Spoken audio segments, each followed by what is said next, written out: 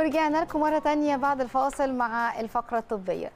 طبعا اليوم المفتوح أو بالمعنى المعروف اليوم ال free. معظمنا لما بيعمل diet بيستنى اليوم ال free ده بفارغ الصبر. ويبدأ من أول اليوم يجهز بقى هياكل إيه ويشرب إيه. يفضل طول اليوم ياكل ويشرب الحاجات اللي ممنوع منها في ال diet. بس هل ده صح؟ هل المفروض يبقى يوم free ولا وجبة بس free؟ هل اليوم ال free أصلا حقيقة ولا خرافة؟ مفيد ولا مضر؟ كل ده هنعرفه من ضيفتي اللي مشرفاني منوراني في الاستوديو دكتور مي عبد اللطيف أخصائية التغذية العلاجية وعلاج السمنة من الفريق الطبي لشركة On Target Pharma أهلا بيكي يا دكتور. إيه؟ إيه الكلام الكبير ده؟ أه جدا. اليوم ال free. ده إحنا بنقضيها كله free بنضيع تقريبا قبلها بالظبط. شهر ممكن؟ اليوم ال free ده أحلى حاجة الناس يعني بيعيشوا على أمل اليوم ال free ده أصلا يعني. طب ما تقولي لنا بقى فعلا دي حقيقة فعلا في يوم free ولا هي فعلا وجبة free ماشي. أول حاجة اليوم ال free ده أكبر خرافة آه. واكبر كارثة أنا طلعنا كلنا غلط. أعملها. بالظبط. أه. إيه، بالظبط يا نهار أبيض.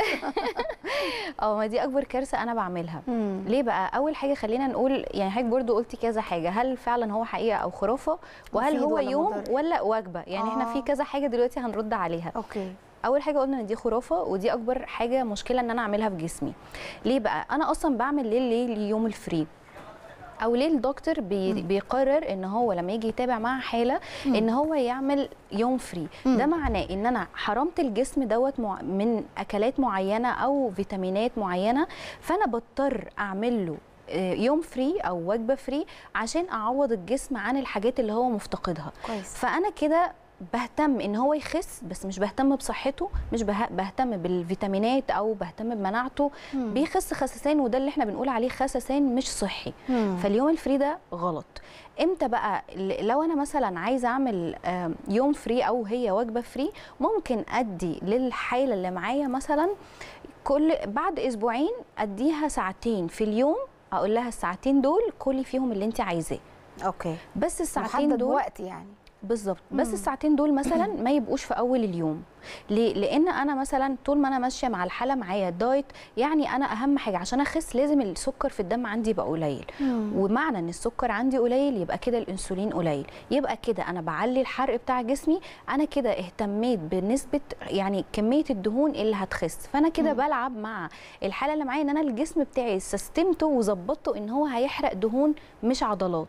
كويس. فأنا ساعتها دلوقتي لو أنا جيت اديله وجبة فري هقول له خليها في آخر اليوم مثلا ما تبقاش قبل النوم برضو على طول مم. وهي ساعتين بعد الساعتين عدوا خلاص نوقف الأكل لحد بقى إنسان عنده شوية معلش شراهة في الأكل والراجل ده أو البنت دي نفسها تاكل شوية براحتها أكتر من وجبة. اللي أنتوا حددتوها في الساعتين. بتعملوا إيه في الحالة اللي زي تمام. دي ما هو برضو زي ما قلت لحضرتك لو إحنا عاملين نظام غذائي صح أنا مم. مش هحتاج إن أنا أحرم جسمي ومش هحتاج إن أنا أخلي الحالة اللي متابعة معايا تفكر وتحلم باليوم ال free لأن أنا كده كده بخليها تاكل كل اللي هي عايزاه. بس بقى بنطبخ بطريقة صحية بنلعب في أنواع الأكل إن هي تبقى متنوعة. مثلا لو حد نفسها تاكل حاجة بقى اللي أيوة هي دي. بقى هتبوظ قوي ال- آه. ال diet ده بقى إن إحنا بنتدخل كفريق طبي مع إن إحنا نديهم كورسات. وبنمنعها لا مش بنمنعها بنقول لها كل اللي انت عايزاه بس بنحدد مثلا آه. الوقت اللي هتاكل فيه والكمية أهم حاجة الكمية.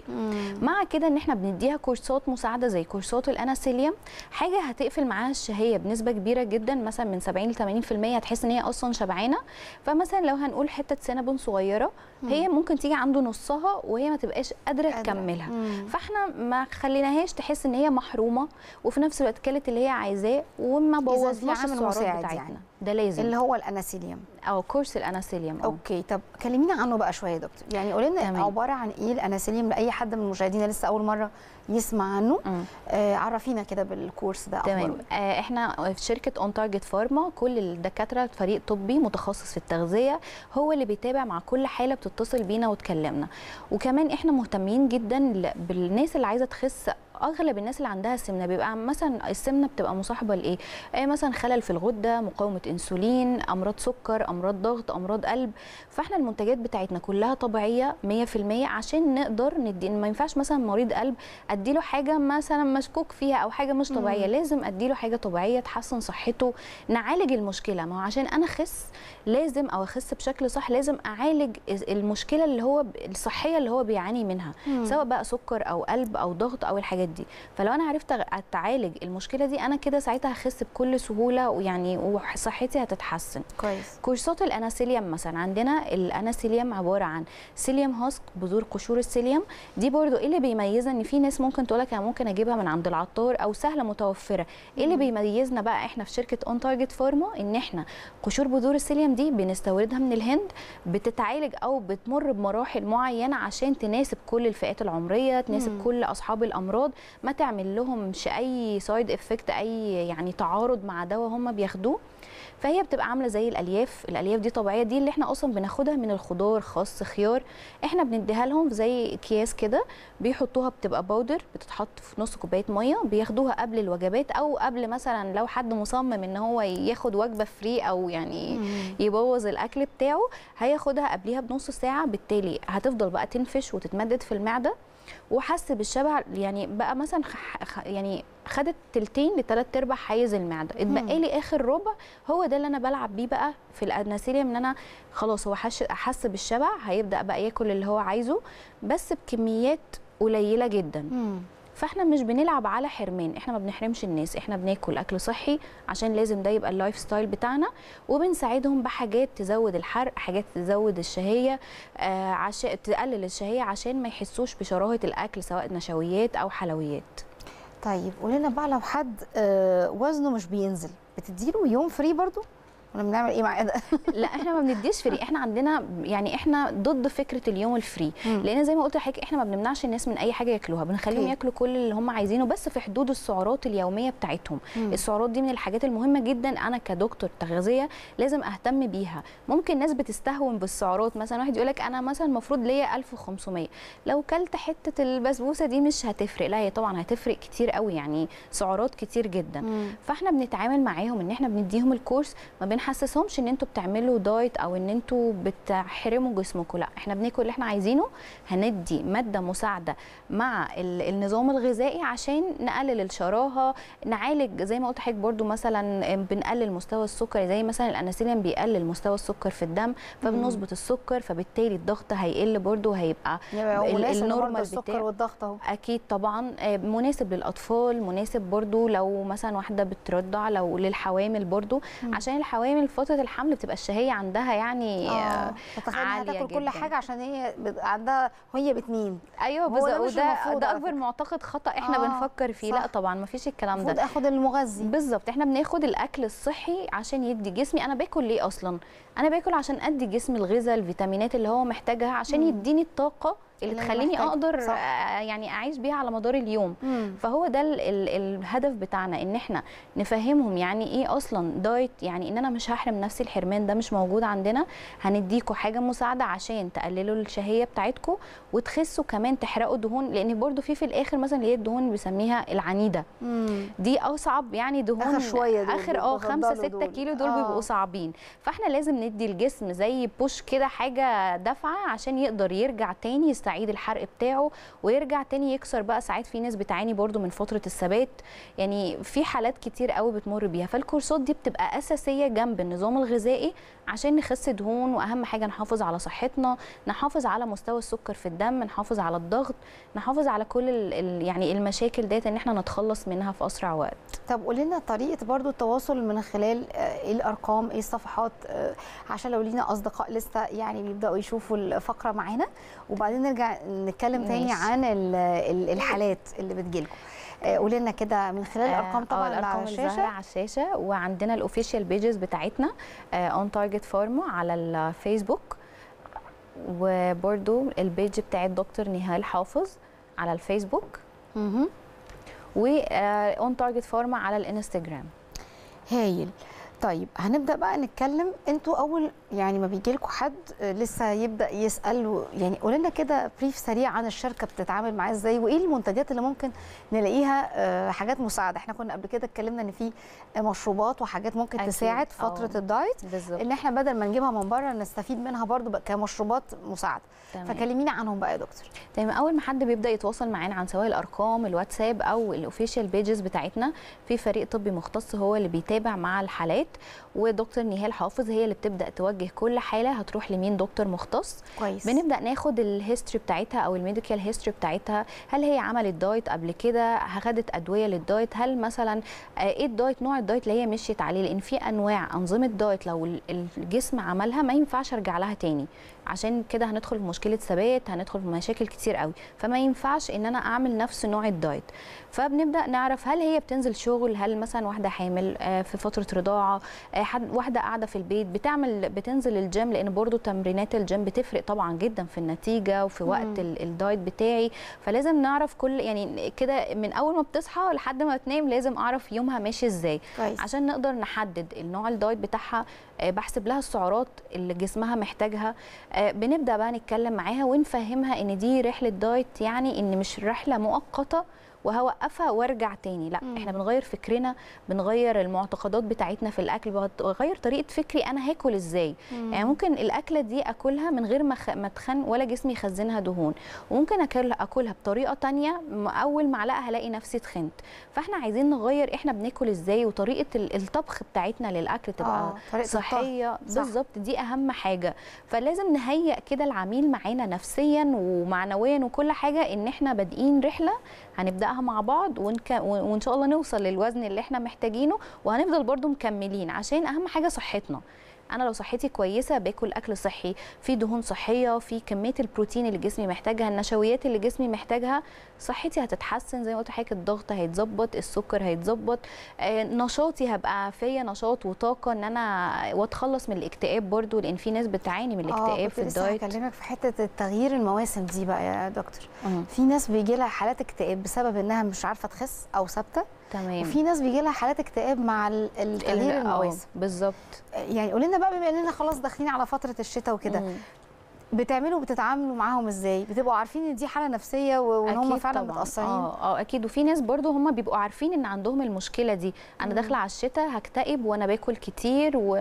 فإحنا زي ما قلت لحضرتك كل كورس مختلف عن التاني. في كورس مثلا هنديها كبسولات في كورس هنديها مثلا كبسولات وسكر عشان السكر مثلا تقدر تعمل هنقول لها بقى وصفات صحية مم. في حلويات وكده عشان ترفع عندنا مثلا حاجة اسمها هرمون السيروتونين. ده هرمون السعادة في جسمنا.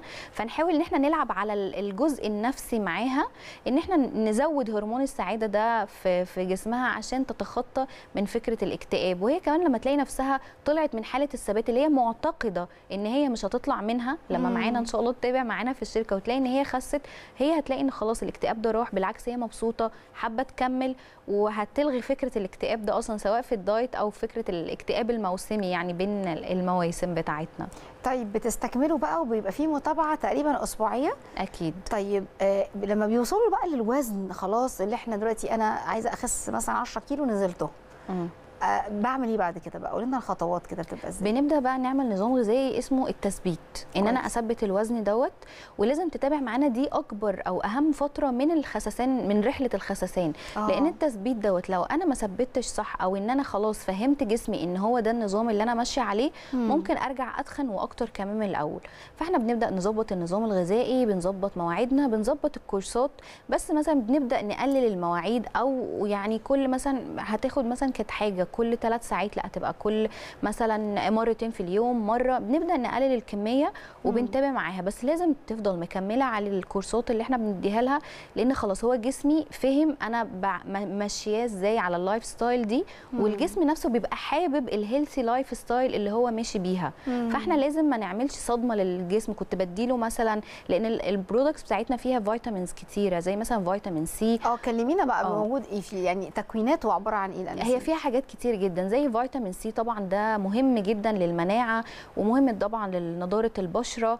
ففيتامين سي ده وكمان مهم جدا للحرق يعني لو أنا فيتامين سي عندي مثلا قليل هلاقي حرقي ضعيف. فدي من الحاجات المهمة جدا اللي جسمي بيبقى محتاجها. آه في مثلا آه مادة اسمها البرومالين ديت بتعمل على إن هي بتقلل أو بتكسر الدهون الثلاثية. الدهون الثلاثية دي من أخطر أنواع الدهون اللي ممكن آه. تبقى موجودة عندي. سواء بقى دهون على الكبد أو دهون في الخلايا الدهنية. فالاناسيليوم فيه برضو البرومالين اللي هو بيخلص الجسم من الدهون المتخزنة فيه في عندنا حاجات تانية مثلا زي حاجات بقى سخنة نشربها بما إننا داخلين على آه الشتاء نتكلم بقى على ال products دي اللي موجودة آه. في الشركة دي أهم حاجة عندنا مثلا المورينجا اتكلمنا عنها كتير قبل كده في فوائدها في قد إيه إن هي بتخسس وبتحرق الدهون وبتظبط عندي زي ما حضرتك لسه متكلمة الناس اللي بتعاني من الاكتئاب دي حاجة بتتشرب زي الاعشاب زي. آه الشاي كده آه. وطعمها بيبقى حلو جدا آه لو حد مثلا عايز يشرب حاجة مسكرة عندنا سكر السيسل ده zero calorie آه بيتحط في الفرن آه في. الفرن عادي فممكن إن أنا أسكر بيه المورينجا. آه المورينجا ديت زي ما إحنا قلنا لو حد بيعاني من الاكتئاب لازم هحط له مورينجا في الكورس بتاعي لأن دي بتعمل على إن هي بت بتحفز خلايا المخ وبتنشطه وبتديله طاقة وبتتخلص الجسم من الاكتئاب. فبتدينا كده نوع من أنواع الحيوية وبتخلي مزاجنا رايق. حلو قوي عندنا مثلا القهوة الخضراء. الناس ما بتحبش طعم القهوه الخضراء في بطعم الموكا والبندق. القهوة الخضراء ليه ب... لازم أحط قهوة خضراء في ناس تقول لك طب أنا ممكن أشرب قهوة عادية وفيها كافيين برضو. مم. إيه الفرق؟ خلينا نتكلم على الاثنين يا دكتور. أيوه. تمام. إيه الفرق بقى بين القهوة الخضراء والقهوة العادية بتاعتي؟ القهوة الخضراء فيها مضادات أكسدة اللي هي مهمة جدا عشان بترفع بتظبط مستوى السكر في الدم. وزي ما لسه قلت لحضرتك من شوية طول ما مستوى السكر عندي قليل ده معناه إن الإنسولين هيبقى قليل فبالتالي يعني حرق الدهون هيبقى يعني بنسبة أعلى من القهوة العادية مم. فإحنا وفي مادة برضو في القهوة الخضراء اسمها كلوروجينيك اسيد هي ديت المه... المسؤولة عن إن هي بتظبط مستوى السكر في الدم مم. فأنا عشان أقول القهوة الخضراء أو القهوة العادية مين فعال فيهم أكتر هشوف مين اللي ليه تأثير على مستوى السكر في الدم أكتر مين اللي بيقلله أكتر مم. عملوا دراسة لقوا إن القهوة الخضراء تأثيرها إن هي بتقلل مستوى السكر في الدم أكتر بكتير من القهوة العادية. إذا القهوة الخضراء هي ال- الصح أو ال- الصحية لجسمي إن أنا أشربها أثناء الدايت عشان هتقلل الدهون وبالذات الدهون اللي بتبقى متراكمة في منطقة البطن والأرداف دي أكتر حاجة طبعا الناس آه، وبالذات السيدات. بيعانوا منها طب هسألك يا دكتور الناس اللي متعودة تشرب القهوة العادية هل ممكن نقول لهم مثلا ممكن ده ياخد من دي فنجان قهوة من ده وياخد تاني من القهوة الخضراء دي آه على. مدار اليوم مثلا؟ آه آه لأن القهوة الخضراء دي ما فيهاش سعرات وكمان ما بتكسر لو حد ماشي على نظام صيام متقطع هي ما بتكسرش نظام الصيام المتقطع مم. فممكن أشربها في فترة الصيام بتاعتي ممكن أشربها الصبح أشربها بالليل وحلوة جدا لأصحاب مرض السكر برضو والضغط ما بتعليش السكر زي القهوة العادية هايل طب الأطفال بقى بنديهم من أنهي أعشاب بالنسبة لكم لما بيبقى واخد آه، الكورس؟ المورينجا والمورينجا جدا يعني هايلة جدا لو مثلا في فترة الحمل أو الرضاعة مم. لأن من الحاجات الممتازة في نبتة ال- المورينجا إن هي بتزود الامتصاص المعادن والفيتامينات. يعني. بتسهل وصول الفيتامينات للبيبي حتى وهو في بطن مامته. فالمورينجا من الحاجات الهايلة جدا اللي ممكن طفل ياخدها ولو مش حابب الطعم زي ما قلت لحضرتك سكر سيسل هي هيحل الطعم بتاعه. هيحليه. طيب آم، إحنا بنتكلمنا إن الحامل ممكن تاخد الاناسيليوم أه أثناء. فترة الحمل ما يأثرش. على الجنين. بعد بقى بعد بقى الولادة. بعد ما يأثرش بقى على, على فترة الرضاعة.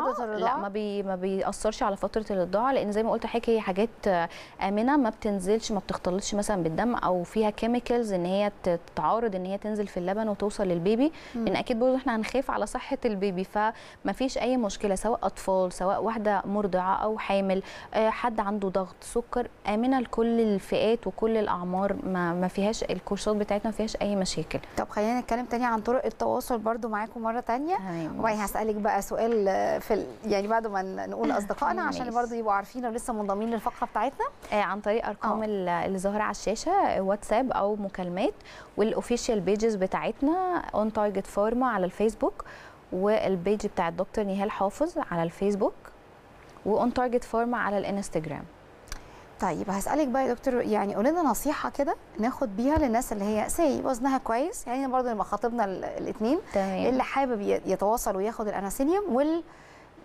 يعني وزنه كويس وعايز يحافظ عليه. تنصحيهم بإيه؟ فترة الشتاء بالذات المتغيرة دي. تمام. أهم حاجة أكيد نشرب ميه كتير نلعب رياضة. يعني لو يعني سننا. yes آه نلعب رياضة أو حاجات خفيفة في البيت يعني مش لازم إن أنا أنزل جيم وألعب مم، بقى حاجة حاجات كده تمارين آه. ايروبكس حاجات aerobics، خفيفة آه. كده آه نظبط زي ما قلت حضرتك برضو الأكل أنا بعمله إزاي أقلل الزيوت المهدرجة لأن كويس. طبعا دي من السموم اللي أنا بدخلها جسمي مم. الحاجات الأكل ال fast food أحاول يعني المفروض إن أنا امنعها.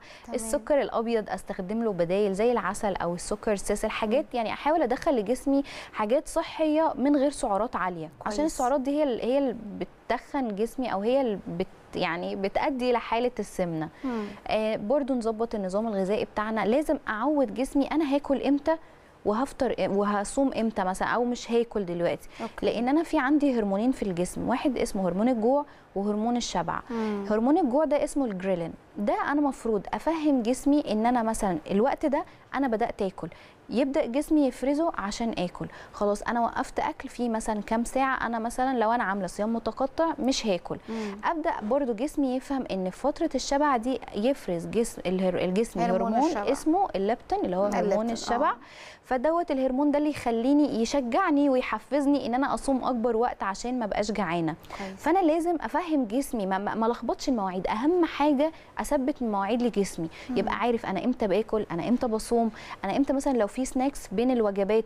دي حاجة من الحاجات المهمة جدا إن أنا لازم أفهم جسمي وجسمي يفهمني عشان تبقى في لغة حوار. بينا آه، ولو مثلا اكل يبقى متنوع عشان ما أحرموش من ال vitamins من ال minerals اللي هو محتاجها.